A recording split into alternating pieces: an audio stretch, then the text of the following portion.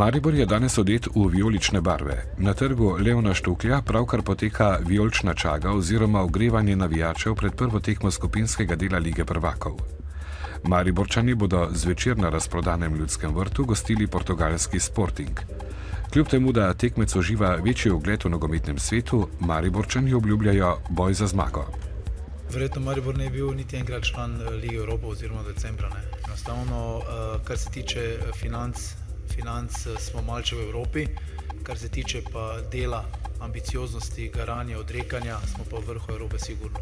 Pomeni, da smo klub, kateri, kateri kontrira vsem parametrom ali pa vsem zakonitostim evropskega nogometa glede finančnega vložka. Enostavno tako se tudi mi pripravljamo tudi na jutrišnjo tekmo, eh, tako se pripravljamo na vsako evropsko preizkušnjo, katera sledi, eh, da bi pa nas to bremenjalo niti podrazno, lahko nas samo motivira. Vprašanje člana Evropske komisije iz Slovenije je zdaj v rokah Bruslja oziroma Žana Kloda Junkerja in nova vlada tega vprašanja zaenkrat ne namerava znova odpirati. Se to ne bi bilo državotvorno, je na današnji nujni seji odbora za zadeve Evropske unije na temo kandidature Alenke Bratušek za Evropsko komisarko dejal mandatar Miro Cerar. Je pa zatrdil, da bo njegova vlada, če se bodo pojavile kakršne koli nove, nepredvidene okoliščine, naprimer pri zaslišanih kandidatov v Evropskem parlamentu ali v Sloveniji, to zanesljivo in nemudoma obravnavala. V Kidričevi ulici v celju je dopoldan izbruhnil požar v skladiščnih prostorih podjetja Alpex. Po prvih podatkih so vsi zaposleni objekt pravočasno zapustili. Poškodovanih naj ne bi bilo. Alpex je družba, ki se ukvarja s trgovinsko dejavnostjo. Osnovna usmeritev od ustanovitve podjetja leta 1990 je veleprodaja izdelkov iz stekla, porcelana, keramike, nerjavnega jekla in emajla. V Portorožu te dni poteka zasedanje Mednarodne komisije za kitolov, na katerem obravnavajo več odprtih vprašanj.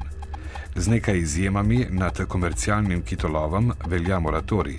Zato pa znanstveni sodelavec slovenske delegacije Tilen Genov opozarja na problematičnost tako imenovanega znanstvenega kitolova, ki ga izvaja Japonska.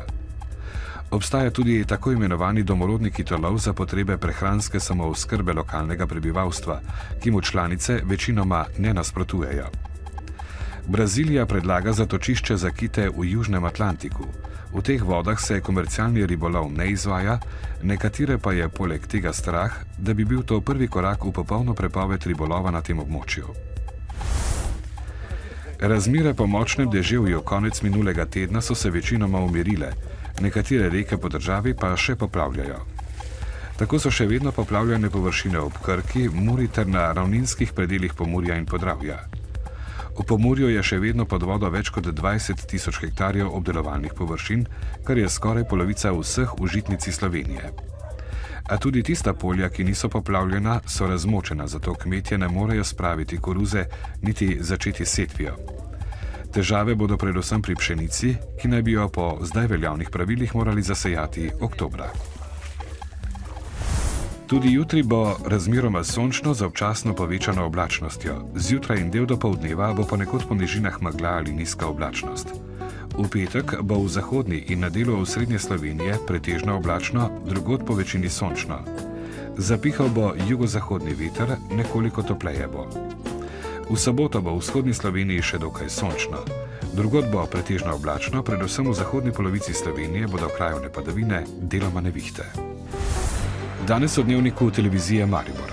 Delavci preventa Halo v Lenartu so danes dobili odpovedi delovnega razmerja.